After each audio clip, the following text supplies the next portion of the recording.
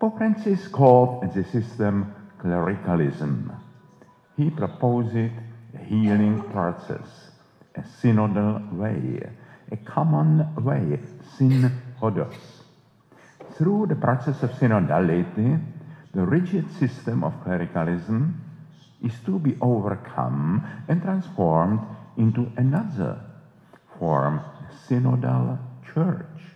The church is a living organism, a dynamic network of mutual communication, which is more consistent with the spirit of the gospel and at the same time more responsive to the needs of contemporary humanity.